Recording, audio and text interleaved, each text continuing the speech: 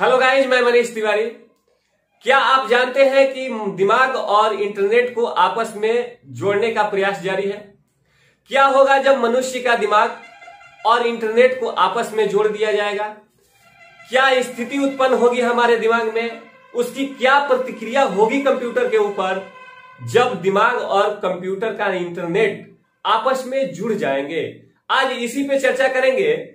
मनुष्य के दिमाग को सीधे इंटरनेट से जोड़ने के प्रयास जारी हैं।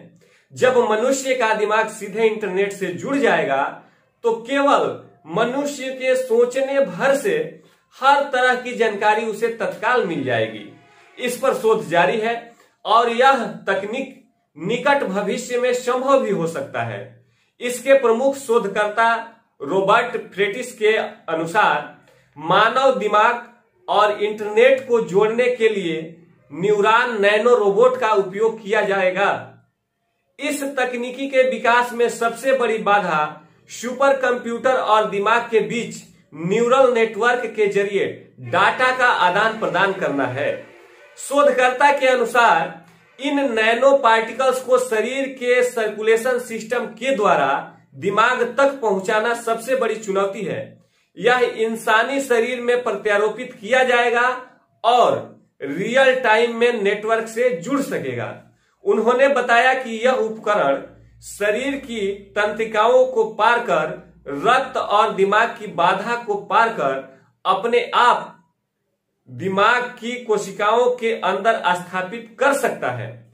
यह वायरलेस उपकरण रियल टाइम में जानकारी या डेटा को एक क्लाउड आधारित सुपर कंप्यूटर और दिमाग के बीच आदान प्रदान करने में सक्षम करता है।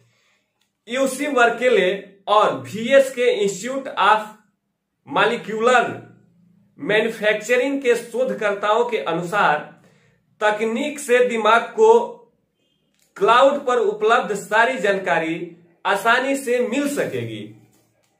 इससे दिमाग के सीखने की क्षमता और बुद्धिमत्ता बढ़ेगी।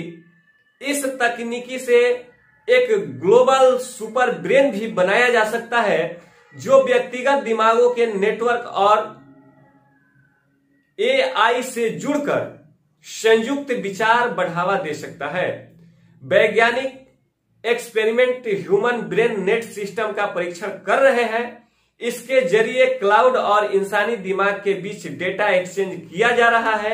यानी हम कह सकते हैं कि सब कुछ ठीक ठाक रहा तो निकट भविष्य में वैज्ञानिकों द्वारा दिमाग को इंटरनेट से जोड़ने की प्रक्रिया संभव हो सकती है। उम्मीद करता हूँ कि यह जानकारी आपको बहुत अच्छी लगी होगी। फिर मिलते हैं अगले वीडियो में।